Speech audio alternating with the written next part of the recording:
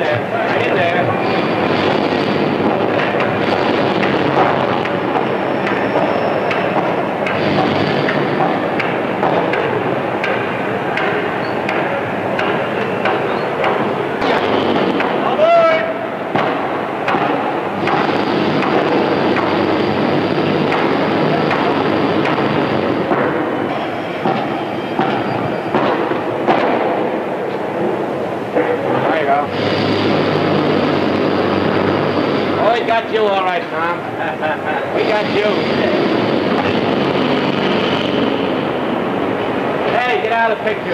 Quiet.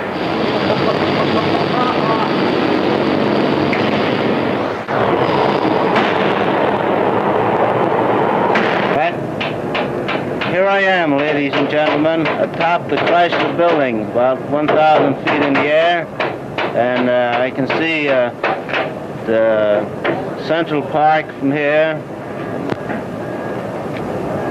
Uh, New York Central Building here. Uh, gosh, it's quite a sensation to be atop here. The people look like flies to me. After a while, you're used to this.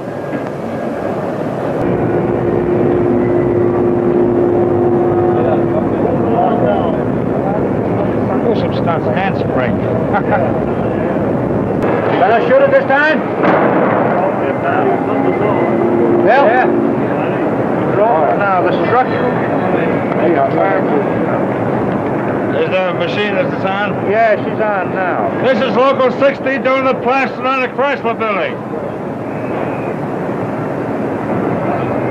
What, what unit of bricklayers company? Three or four different unions on this job.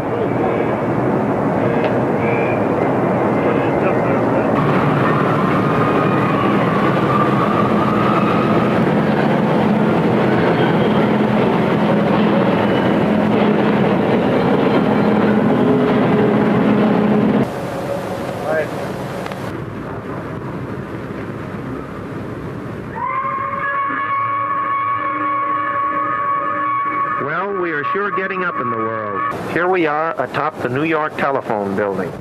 You are now glancing over the famous Wall Street district.